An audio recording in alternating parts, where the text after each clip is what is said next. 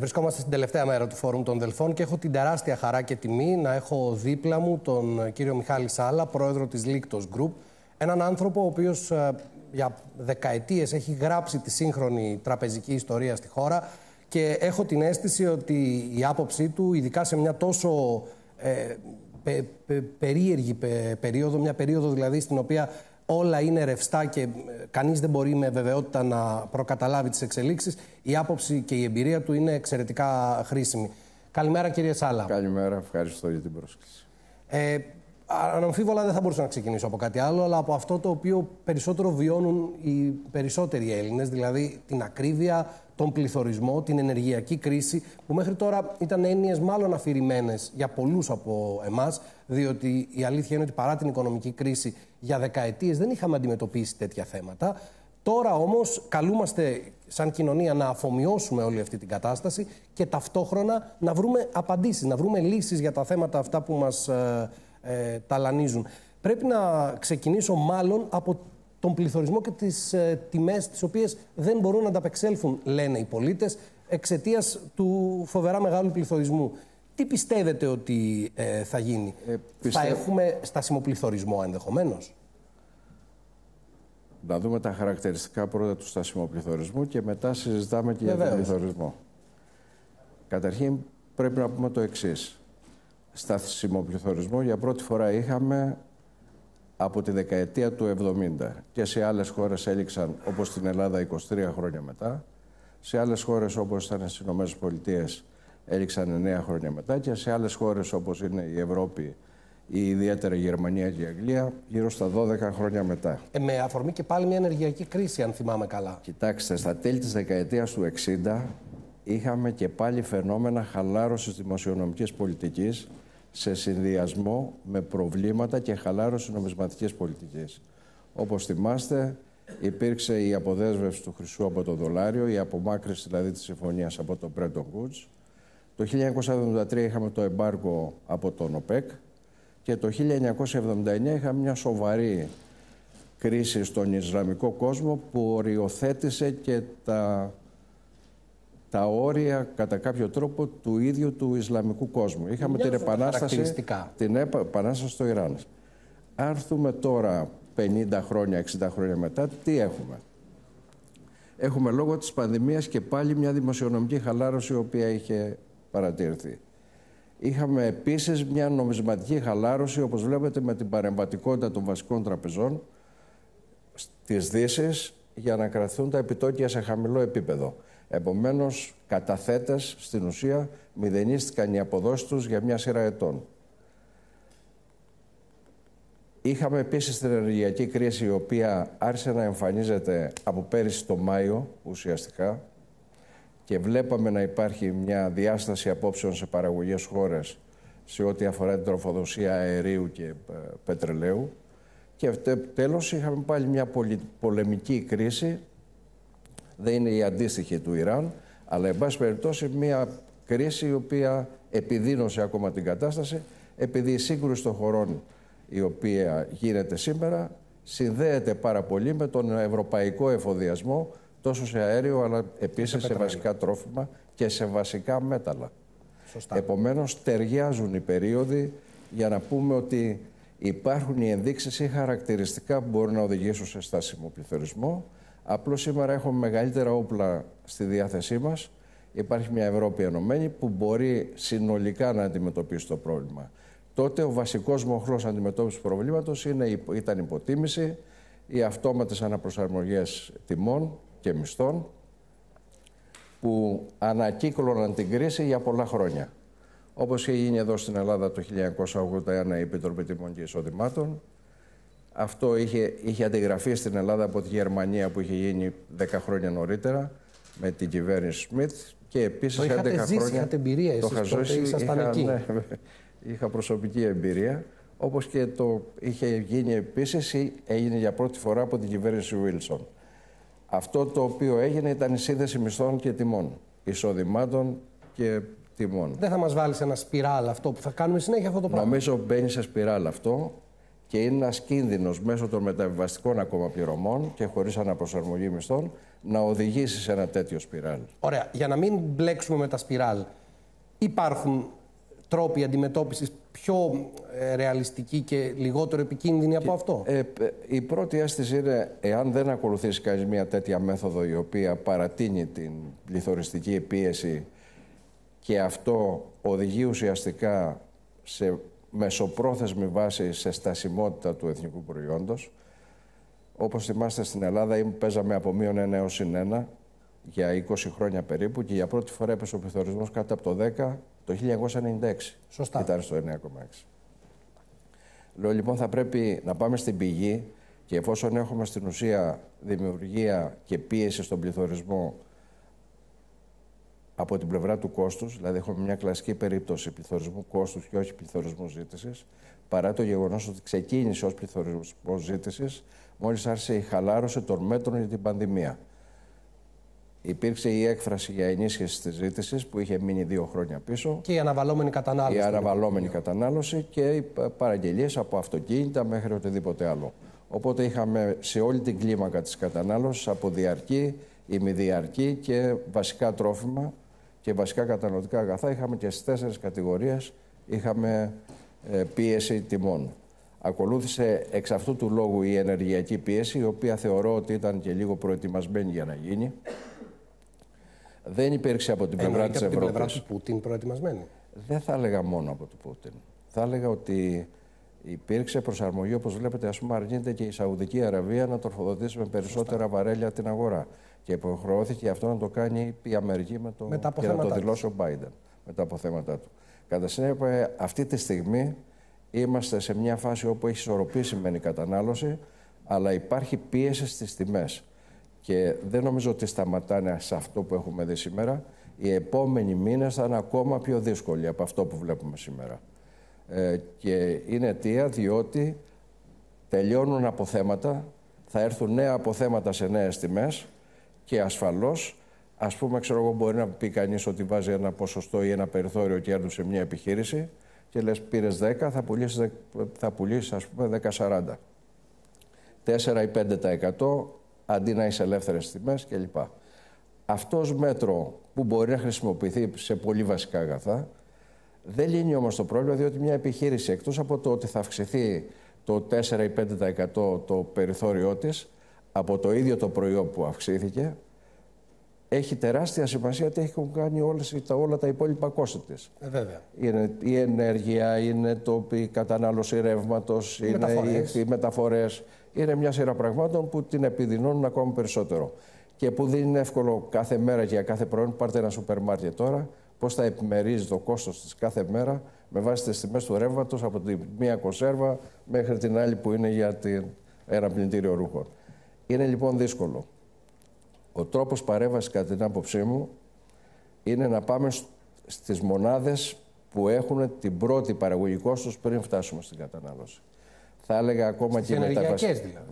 Στη, η άποψή μου είναι ότι θα πρέπει οι επιχορηγήσεις και οι επιδοτήσεις να λαμβάνουν υπόψη με τις πολύ ασθενείς ομάδες για συντήρησή τους, αλλά θα πρέπει να πηγαίνουν στις επιχειρήσεις οι οποίες πουλάνε σε δεύτερη φάση, τρίτη φάση τα προϊόντα και πρέπει εκεί να επιδοτηθούν ούτως ώστε να μην μετακυλίονται και να συγκρατείται στη βάση του η, ε, το, το κόστος και η αύξηση πληθωριστική, της πληθωριστικής πίεσης. Η ρήτρα διαφυγής, την οποία φαίνεται ότι μάλλον θα ενεργοποιήσει και το επόμενο έτος ε, η Ευρωπαϊκή Ένωση για τις χώρες μέλη και για την Ελλάδα, είναι μια απάντηση. Δηλαδή, αυτή η δημοσιονομική χαλάρωση μπορεί να βοηθήσει ή θα επιδεινώσει το πρόβλημα; Ε, πιστεύω ότι η δημοσιονομική χαλάρωση επιδεινώνει το πρόβλημα. Άρα είστε ενάντια της συνέχισης αυτής της πολιτικής Εγώ είμαι υπέρ του ότι θα πρέπει όπου υπάρχουν περιθώρια να είναι πολύ εξειδικευμένη και στοχευμένη η, η, η, μέσα σε εισαγωγικά χαλάρωση. Θα πρέπει, ας πούμε, αν η χαλιβουργία έχει πρόβλημα που είναι κυρίως ενεργοβόρος, πρόβλημα στο κόστος για να μην μετακυλήσει το κόστος στην κατασκευή κατοικίας, θα πρέπει εκεί να επιδοτηθεί, ούτως ώστε να αντιμετωπιστεί στη βάση του για να μην μετακυληθεί το κόστος. Εκτός από εξαιρετικά ε, έμπειρο οικονομολόγο και τραπεζίτης, έχετε ένα ε, φοβερό πολιτικό κριτήριο. Πιστεύετε ότι τέτοιου είδους αποφάσεις, το να επιδοτηθούν δηλαδή στην πηγή οι βιομηχανίες ή οι εταιρείες που παράγουν ρεύμα είναι κάτι που μπορεί να χωνέψει η ελληνική κοινωνία, είναι αποδεκτό ή θα έχουμε λαϊκισμό της αντιπολίτευσης η οποία θα προσπαθήσει να χτυπήσει ακριβώς αυτή την πολιτική. Ε, αν εξηγηθεί σωστά ότι αυτό διευκολύνει και το καταναλωτή αλλά και το μέσο επίπεδο εισοδήματος και το μικρό επίπεδο εισοδήματος πιστεύω ότι αρκεί να γίνει σωστή ενημέρωση ε, πρόβλημα δεν θα έχουμε. Παράδειγμα, είμαστε μια χώρα η οποία όλη η ενέργεια στην ουσία ένα μεγάλο μέρος της εισάγεται. Το μεγαλύτερο μέρος εισάγεται από την ε, από το, σε φυσικό αέριο. Σε φυσικό αέριο το 40% περίπου ναι. και το παράγουμε. Σε... Ε, δεν έχει γίνει μία σύσταση αυτοσυγκράτηση των οικοκυριών στην κατανάλωση ρεύματος. Πώς μπορεί να συμβεί αυτό, Ας Μπορεί να πεις στους πολίτες κανείς ότι καταναλώσετε λιγότερο ρεύμα και αυτό να μην δημιουργήσει αναταραχή; Ε, γιατί να δημιουργήσει αναταραχή; Δηλαδή, δεν είναι κανείς συνεταίρος ΔΕΗ από τους καταναλωτές. Εάν λοιπόν πεις ότι άνοιξε μισή ώρα αργότερα το air condition και κλείσει το μισή ώρα νωρίτερα για να έχεις ένα 5-10% οικονομία στο ρεύμα του σπιτιού σου, δεν είναι ένα βήμα σοβαρό; Το είπαν κάποιοι υπουργοί και αυτό, αυτό θα πρέπει... λιδωρήθηκαν. Ας λιδω... Εγώ δεν είμαι υπουργός και δεν νομίζω ότι θα λιδωρηθώ. Αλλά λέω, λέω ότι αν αυτό λεχθεί, πολλοί κόσμοι θα τα ακούσει. Ή αν λεχθεί κατ' επανάληψη και αν δοθεί και κίνητρο ότι αυτός που μειώνει θα μπορεί να έχει και χαμηλότερο κόστος, νομίζω ότι θα είναι αποτελεσματικό. Άρα για να συνοψίσουμε. Αυτό βοηθά και το ισοζύγιο τρέχουσό Προφανώς ακριβώς, γιατί οι πληρωμές θα είναι λιγότερες. Ε, για να συνοψίσουμε λίγο όλο αυτό, λοιπόν, δεν βλέπετε τεράστιο κίνδυνο, αλλά βλέπετε υπαρκτό κίνδυνο στο Κοιτάξτε, τα χαρακτηριστικά όπως έχουν δοθεί από τις αγορές διεθνώς δείχνουν ότι η Ευρώπη μπαίνει σε μια περίοδο στασιμοπληθωρισμού. Εάν συνεχιστεί ή όχι, διότι τι λένε, βγαίνουν όλοι και λένε, θα έχουμε μείωση του ΑΕΠ, μείωση του εθνικού προϊόντος και αύξηση τιμών. Η μείωση του ΑΕΠ σημαίνει αύξηση, μείωση της απασχόλησης. Η αύξηση των τιμών σημαίνει μείωση της κατανάλωσης. Αυτό λοιπόν παντρεμένο μαζί είναι στασιμοπληθωρισμός. Δηλαδή και πληθωρισμό και στασιμότητα. Εάν το συνδώσει τώρα με εισοδήματα της αυτόματης αναπροσαρμογής και μάλιστα χωρίς time lag σημαντικό, διότι η στέρηση της ΆΤΑ στη δεκαετία του 90, οδήγησε στην συγκράτηση και στην έξοδο της χώρας από το στάσιμο πληθωρισμό. Η εμπειρία μου αυτό δείχνει και τότε τι έγινε λοιπόν, ενώ είχαμε κάθε τρεις ή έξι μήνες αυτόματη μαριθμική αναπροσαρμογή, το κάναμε ένα χρόνο μετά. Αυτή ήταν η απόφαση τότε της κυβέρνησης Παπανδρέου. Αυτό λοιπόν οδήγησε σταδιακά στο, στην εκτόνωση της κρίσης και του προβλήματος. Δεν είμαστε βέβαια, δεν έχουμε μασίσει φύλλα δάφνης, αλλά είμαστε κοντά στον ομφαλό της γης. Θα θέλατε να κάνετε μια πρόβλεψη για το πώς θα είναι φέτος ο πληθωρισμός; Κοιτάξτε, όπως βλέπω τώρα να γίνουν τα πράγματα, πιστεύω ότι θα κινηθεί οπωσδήποτε στο 8 και πάνω. 8 και πάνω. Είναι τεράστιος ο πληθωρισμός. Η Ευρωπαϊκή Ένωση είναι έτοιμη; στα χέρια της Ευρωπαϊκής Ένωσης, γιατί δεν είναι τόσο, δεν υπάρχουν τα εργαλεία στην Ελλάδα θα υπήρχε το εργολείο αν μπορούσε να κάνει υποτίμηση ή να κάνει άλλου τύπου νομισματικές πολιτικές και να μπορεί να εκδώσει χαρτονόμισμα για να κάνει ειδικού τύπου δημοσιονομικές παρεμβάσεις και μεταβασικές πληρωμές. Όπως είναι σήμερα τα πράγματα, η βασική άσκηση οικονομικής πολιτικής σε δημοσιονομικό και κυρίως νομισματικό επίπεδο ασκείται από τα ευρωπαϊκά όργανα. Άρα λοιπόν η Ευρώπη πρέπει να συνειδητοποιήσει ότι για την προστασία της ίδιας της Ευρώπης και κυρίως χωρών οι οποίες είναι πάρα πολύ ευαίσθητες στις εισαγωγές, θα πρέπει να τους επιτρέψει ή να πάρει ειδικά μέτρα που θα βοηθήσει αυτές τις χώρες. Μπορεί όμως, γιατί στην πραγματικότητα βλέπουμε ότι υπάρχουν αντικρουόμενα συμφέροντα μες την Κοιτάξτε, το, δεν νομίζω ότι είναι τόσο τα αντικρουόμενα συμφέροντα, αλλά όσο είναι η συνήθις έρπουσα γραφειοκρατία, γραφειοκρατία των, των Βρυξελών, η οποία έχει την παλιά προσική αντίληψη. Α, ναι, ωραία. Ε, και αυτή η γραφειοκρατική αντίληψη αλλάζει ε, επειδή ακριβώς οι συνθήκες επιβάλλουν την αλλαγή της. Δηλαδή, αυτό που συμβαίνει θα πιέσει τελικά την Ευρώπη να εξυγχρονιστεί. Βλέπουμε ήδη αλλαγές, για παράδειγμα, στο ενεργειακό της μείγμα. Λένε και η Γερμανία ακόμα να προχωρήσουμε σε ΑΠΕ. Πράγμα το οποίο πριν από ένα χρόνο το λέγαμε, αλλά πιο ήπια. Κοιτάξτε, στο... θα μας πιέσουν οι αλλαγές. Κατά την άποψή μου, οι Γερμανοί θα προχωρήσουν σε αυτό. Αλλά δέχονται μεγάλη πίεση. Επειδή ακριβώς δέχεται ο βασικός πυρήνας της Ευρώπης πίεση, πιστεύω ότι έχει δυνατότητες η Ευρώπη να αλλάξει. Εάν δεν δεχόταν η Γερμανία πιέσεις, νομίζω θα τρώγαμε το στασιμό πληθωρισμό στην πλάτη για πολλά χρόνια. Ωραία. Χθες το βράδυ βγήκε στον αέρα ένα γκάλοπ για τις γαλλικές εκλογές τι επερχόμενες που δείχνει ότι ο Μακρόν και η Λεπέν έχουν μία μονάδα ουσιαστικά διαφορά στα όρια του στατιστικού λάθους. Μπορεί όλη αυτή η κατάσταση την οποία περιγράψατε, νομίζω πραγματικά to the point που λένε και στο χωριό μου, μπορεί αυτή η κατάσταση να επαναφέρει το λαϊκισμό, όπως δήλωσε και ο Πρωθυπουργός, ο Κυριάκος Μητσοτάκης, σε όλη την Ευρωπαϊκή Ήπειρο. Κοιτάξτε, νομίζω ότι τα κόμματα που δεν θα λαϊκίσουν είναι αυτά που θα ευνοηθούν. Διότι ο κόσμος, πια η πληροφόρηση την οποία έχει ο μέσος πολίτης, δεν είναι η πληροφόρηση που είχε στη δεκαετία του 60.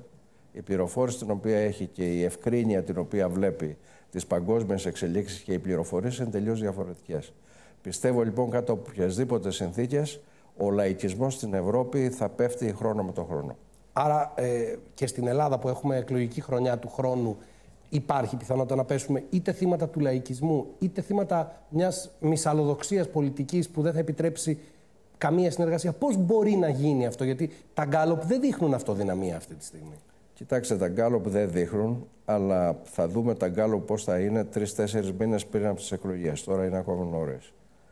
Ε, εγώ είμαι φανατικός οπαδός της αυτοδύναμης κυβέρνησης, διότι ξέρω και έχω ζήσει, είμαι στα 70 μου και έχω ζήσει 50 χρόνια την οικονομική ζωή και την πολιτική ζωή της Αθήνας.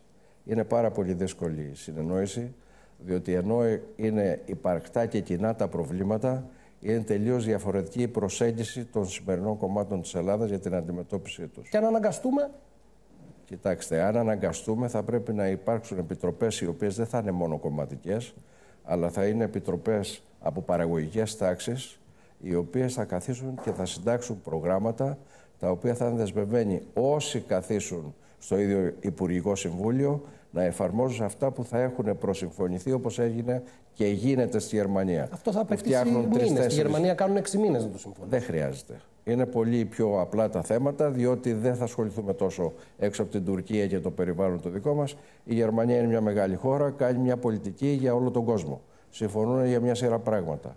Άλλη βιομηχανία έχει η Γερμανία, άλλη βιομηχανία έχει η Ελλάδα. Άλλο αγροτικό τομέα εμείς, άλλο αυτή.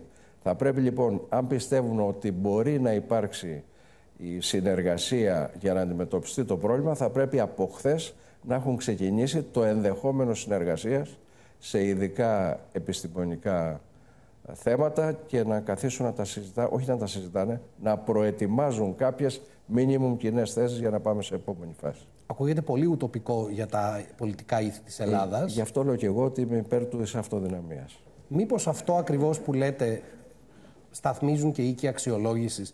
Και γι' αυτό το λόγο, ενώ ήμασταν πάρα πολύ αισιόδοξοι ότι ενδεχομένως και στο τέλος της φετινής χρονιάς θα έχουμε μπει στο investment grade, τελικά δεν μπήκαμε, γιατί φοβούνται τον πολιτικό κίνδυνο και περιμένουν να δουν τις εκλογές και αυτό που θα συμβεί στη συνέχεια, που είναι αυτό που περιγράφεται.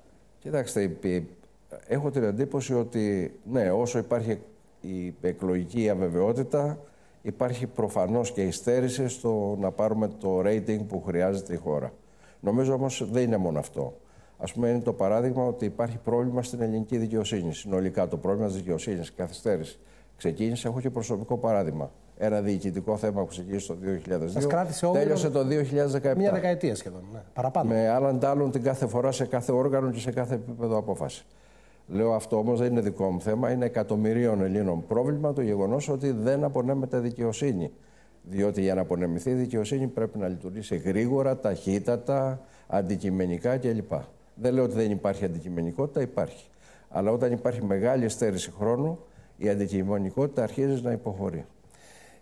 Και για να δούμε λοιπόν σε πιο έτσι, μικρό επίπεδο τι θα γίνει με τις ελληνικές τράπεζες. Σας προανήγγειλα λέγοντας ότι είστε ο άνθρωπο που έχετε γράψει την τραπεζική σύγχρονη ιστορία. Οι ελληνικές τράπεζες μπορούν αυτή τη στιγμή, ενώ το ακούμε συνεχώς, να χρηματοδοτήσουν την επιχειρηματικότητα, μοιάζουν περισσότερο σαν να κοιτούν μακροσκοπικά οι τράπεζες ακόμα την ελληνική οικονομία και βέβαια εκταμιεύουν εξαιρετικά δύσκολα. Κοιτάξτε, οι τράπεζες έχουν περάσει την περίοδο αυτής της δωδεκαετούς κρίσης. Χωρίς να έχουν καταφέρει, διότι επειδή δεν υπήρξε έτσι έντονα αναπτυξιακή πορεία στη χώρα τα τελευταία χρόνια και επειδή πάνω που βγαίναμε από την κρίση από τις εκλογές του 19 και μετά με πιο ταχύτερα βήματα μας έπιασε η πανδημία και λίγο κάπως γονάτισε τα πράγματα και τις επιχειρήσεις. Νομίζω ότι οι τράπεζες μπορούν να παίξουν ένα θετικό ρόλο με μια προϋπόθεση. ότι δεν μπορούν να περιοριστούν ότι δανείζουμε τις επιχειρήσεις μόνο εκείνες οι οποίες έχουν δισεκατομμύρια τζίρους και έχουν μια ασφάλεια ότι το επόμενο εξάμεινο δεν θα έχουν πρόβλημα, έχουν την ασφάλεια με μικρά επιτόκια να δανείσουν κλπ. Θα πρέπει να μπουν στη λογική της εμπορικής τραπεζικής.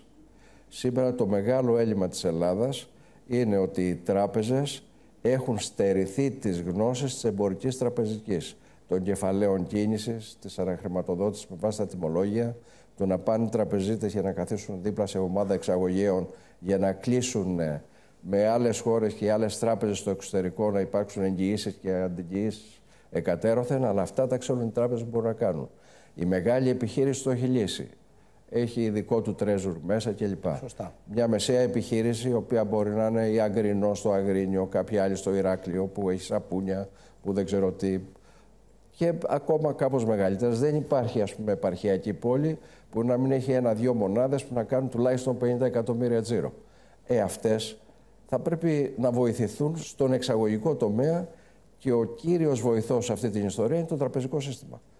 Το οποίο λέτε όμως ότι πρέπει να κάνει μια μικρή αλλαγή. Θα πρέπει, ναι, διότι όσο περνάνε τα χρόνια απομακρύνεται από ότι μπαίνουν όλα στον αυτόματο πιλότο και στο, στο αυτόματο τηλέφωνο που είναι μια πρόοδος και διευκολύνει και τα κόστη και της επιχείρησης και του ιδιώτη πελάτη αλλά και της ίδιας της τράπεζας αλλά χρειάζεται για να συνηθίσει και να συνοηθεί κάποιος πως αν παράγει τα ροδάκινά του θα ξέρει ότι όχι μόνο την πρώτη χρονιά αλλά και τη δεύτερη και την τρίτη και την πέμπτη χρονιά θα μπορεί να έχει εγγυήσεις από, την, από τη Βουλγαρία, τη Ρουμανία ή δεν ξέρω πού αλλού. Μακάρι να μπορεί να εξάγει και στη Μόσχα, να μπορούν να συνοηθούν με τις τράπεζες και να υπάρχει πολύ εύκολη συνεννόηση για να μπορεί να γίνουν τα settlements για να πάρει ο άνθρωπος τα λεφτά του όταν πρέπει για να μπορεί να επαναχρηματοδοτήσει την επόμενη του χρονιά και την επόμενη του παραγωγή. Η αλήθεια Χρειάζεται λοιπόν εμπορικό οι τράπεζες να ξαναδούν τα εμπορικά τους τμήματα και να έρθουν να κατέβουν κοντά στη μεσαία και μικρή επιχειρηματική μονάδα. Η αλήθεια είναι ότι αυτό που λέτε, ε, το συνδέω έτσι λίγο υπερβατικά προφανώς, και με το επερχόμενο Ταμείο Ανάκαμψης, ήδη είχαμε χθες ε, την εκταμείευση της πρώτης δόσης, μέχρι τώρα ακούγαμε από την κυβέρνηση ότι οι τράπεζες θα είναι αυτές οι οποίες θα προχωρήσουν στην αξιολόγηση των επενδυτικών σχεδίων και θα το κάνουν. Αυτό που μου περιγράφεται είναι ότι οι τράπεζες μάλλον δεν είναι ακόμα Κοιτάξτε, αυτό είναι επενδυτικό. Οι τράπεζες λογικά θα πρέπει ήδη να είναι έτοιμες. Ε, εγώ είμαι βασικός μέτοχος μιας μικρής τράπεζας που θα μεγαλώσει ίσως τις επόμενε. Σας το εύχομαι ολόψυχα. Ευχαριστώ πολύ. Ε, υπάρχει προετοιμασμένη ήδη ομάδα για να καλύψει τη δική της ανάγκη σε, ε, από πλευρά Ταμείου Ανάπτυξη για να διευκολύνει τους πελάτες της, τους μικρούς φυσικά, που θα αντιμετωπίσουν ή θα πρέπει να αντιμετωπίσουν το πρόβλημα. Εκείνο που εύχομαι εγώ είναι ότι όχι αν θα υπάρξει δυνατότητα μέσω των τραπεζών να εξυπηρετήσουν αυτό το, αυτή τη ροή προς τις, προς, από το Ταμείο Ανάπτυξης προς την αγορά, ε, μακάρι η ροή των χρημάτων του Ταμείου Ανάπτυξης να ανταποκριθεί στα αιτήματα και στα business plans τα οποία ήδη υπάρχουν και τα οποία αναπτύσσονται. Επειδή έχουμε περίπου 1,5 λεπτό και επειδή ζούμε σε μια εποχή όπου οι άνθρωποι ξέρετε, δεν εμβαθύνουν σε όλα τα θέματα, αλλά κάνουν αυτό το cherry picking βλέποντας τίτλους. Εάν θέλουμε να συνοψίσουμε όλο αυτό που είπατε για το επόμενο διάστημα για την ελληνική οικονομία, είστε θετικός, ουδέτερος ή αρνητικός; Ε, τώρα, κάποτε είπε η Θάτσερ με καλείται να μιλήσω για την ειρήνη στην Ευρώπη. Ήταν μια ομιλία του 1988, από ό,τι θυμάμαι, στο, στη Χάγη. Και είπε με καλύτερα να μιλήσω για την ειρήνη σαν να καλείται τον Τζέκινς Σχά να μιλήσει. Για την, να μιλήσω για την Ευρώπη είναι σαν να καλείται τον Τζέκινς Σχά να μιλήσει για την ειρήνη. Εγώ είμαι μόνιμα αισιόδοξος. Όχι μόνο αυτό, είμαι αισιόδοξος και σήμερα ακόμα που λέω ότι μπορεί να υπάρχουν αυτά τα, οι ανισορροπίες στις αγορές, στην αγορά εργασίας, αγορά προϊόντων, αγορά πρώτων υλών κλπ. Είμαι εκείνος ο οποίος επενδύει σχεδόν κάθε μέρα. Είμαι ήδη στο επενδυτικό και στο πεζοδρόμιο και επενδυτικά. Μας ενδιαφέρει να συγχωνεύσουμε τράπεζες, αγοράζουμε, συγχωνεύουμε, κινούμαστε, επενδύουμε και αυτό το έκανα πολλά χρόνια. Μην ξεχάσετε ότι έχω ήδη αγοράσει έστω και μέσω της Τράπεζας Περιό, αλλά ξεκινώντας ως άτομο 29 τράπεζες. Σωστά. Που είναι μοναδικό και σε παγκόσμιο επίπεδο. Άλλωστε υπάρχει και αυτό το χρηματιστηριακό Είμαι λοιπόν αισιόδοξος. Εάν φύγει η αισιοδοξία, χαθήκαμε. Η επιχειρηματική κοινότητα πρέπει να κινηθεί και μόνιμα μέσω των οργάνων θα πρέπει να σπρώχνει και να ασκεί πίεση ακατάπαυστη στο πολιτικό σύστημα και στο τραπεζικό για την ικανοποίηση θεμάτων. Όχι παράτυπων ούτε άδικων. Διότι και στις τράπεζες νοικοκυρέοι βάζουν τα λεφτά τους από τον υδρότα τους και το αίμα τους, με το εφάπαξ κλπ. Πρέπει να το σεβαστούν και το σέβονται. Και μέχρι τώρα στο ελληνικό τραπεζικό σύστημα δεν έχει χαθεί ούτε ένα ευρώ σε κατάθεση. Σε αντίθεση με άλλες χώρες που έχουν χαθεί. Πρέπει λοιπόν αυτό να προσεχθεί, αλλά θα πρέπει και η επιχειρηματική τάξη να σπρώξει πολύ και να μην σταματήσει να σπρώχνει. Μην μένει μόνο στην κριτική. Η αλήθεια είναι ότι ενώ δεν ήθελε να πάρει ξεκάθαρη θέση, νομίζω ότι πήρε ξεκάθαρη θέση. Είναι αισιόδοξος πολύ ο κύριος Σάλλας. Σας ευχαριστώ πάρα πολύ για τις απαντήσεις σας. Εύχομαι και να σας ακούσαν.